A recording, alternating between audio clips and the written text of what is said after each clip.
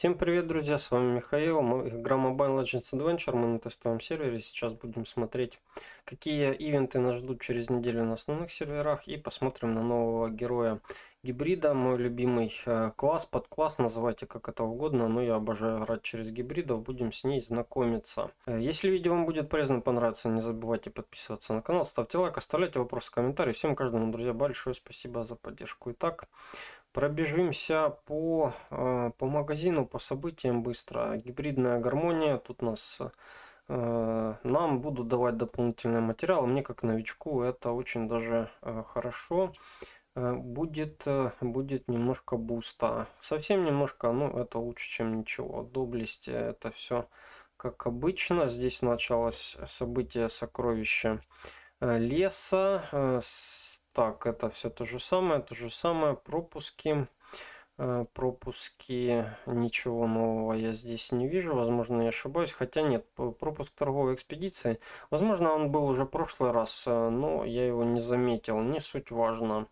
Э, здесь дальше ничего такого сверхъестественного. События смотрим, здесь нас встречает донат, предлагают копии персонажей в зависимости от прокачки, будут э, разблокироваться э, дополнительные возможности покупки. На любителя фри-то-плей проходит мимо.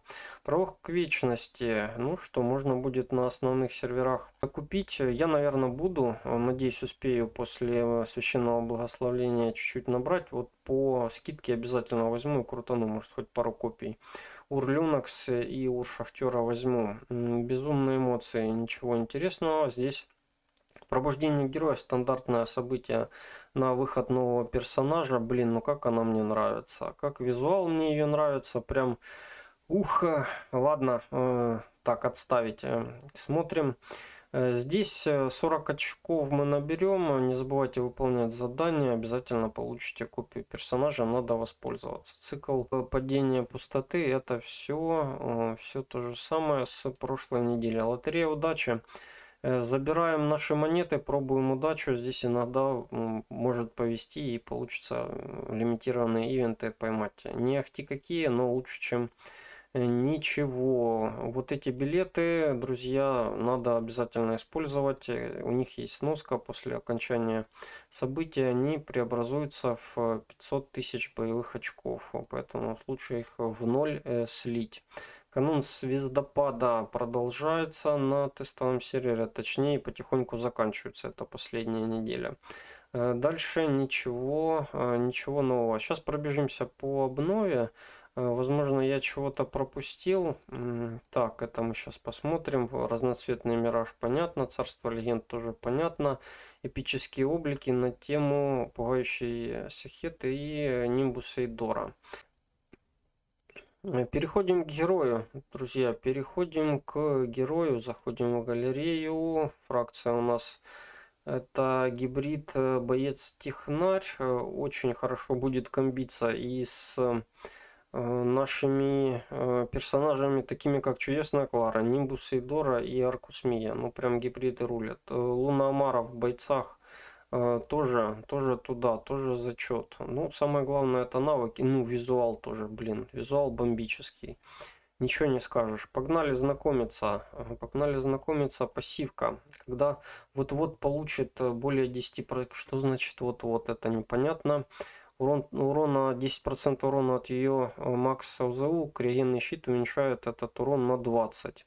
Когда ОЗУ рис больше 50, она получает проникновение в размере, ага, то есть э, хпшку надо ей больше 50 держать, чтобы вот это работало. Дальше третий и четвертый уровень, это макс хп э, минус 10 получаем и уменьшение урона получаем. Ну, сейва-билка не может не радовать так как у нее легкая снаряга, будет отлетать она очень быстро. За каждого пораженного врага базовой атакой э, надо, надо много персонажей сразу бить, сразу, чтобы 10 раз стакалось. Шанс крита и критический урон на 6 секунд. Эрис получает дополнительно 50% попадания, это второй уровень, третий и четвертый увеличение, увеличение процентов. Э, ну, неплохо, крит и крит урона разгоняет, э, это очень даже хорошо. А что нам? Урон и контроль.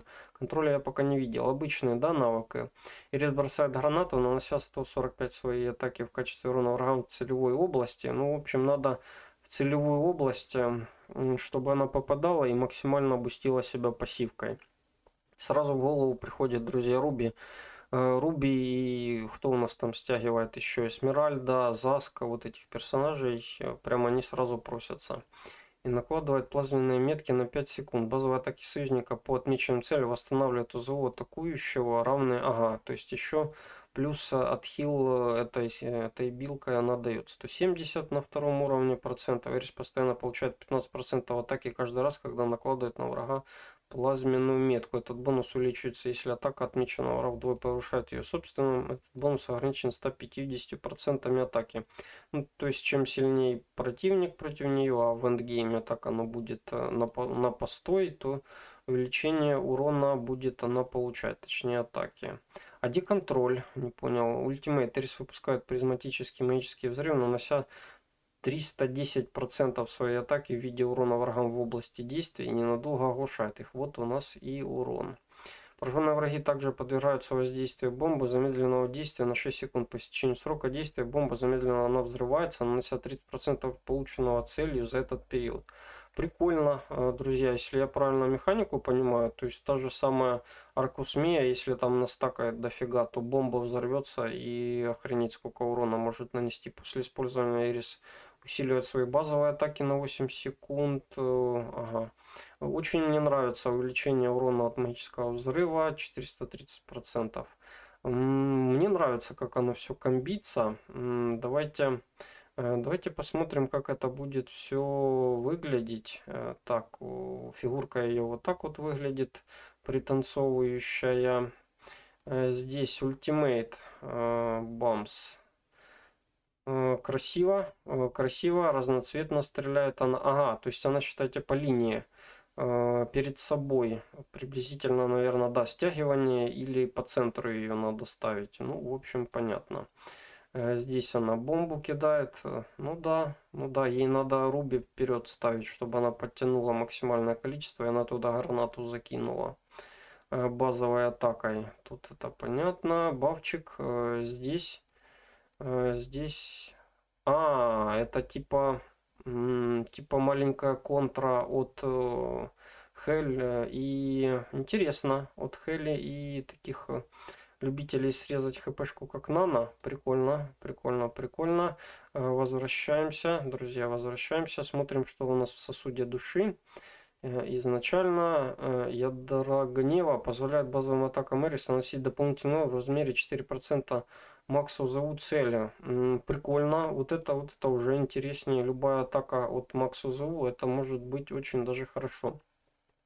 Здесь базовые атаки дополнительный урон уже 8%. Получает 500 энергии в начале. Тоже шикарно, невосприимчиво э, к большинству эффектов контроля и снижения энергии в течение 10 секунд после начала битвы. Очень прикольно. Мне, по крайней мере, нравится. Небольшие сейвобилки есть. А что-нибудь на снижение урона? Получает 40%. Вот, кстати. Не успел только проговорить. Получает 40% снижения в начале битвы. При первом использовании ультимейт снижение урона преобразуется в 40 увеличения. Э, потом 60 и преобразовывается в 40 с 60 увеличения урона. Усиление базовой атаки после использования длится в течение всей э, битвы. Призматический взрыв.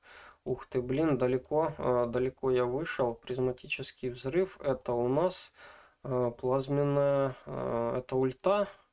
Ну да, блин, ну короче, ей карты надо сразу прокачивать.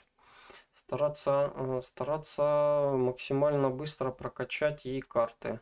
Герои, здесь у нас увеличение, подбираю воздействие замедленно на, ага, в виде урона в области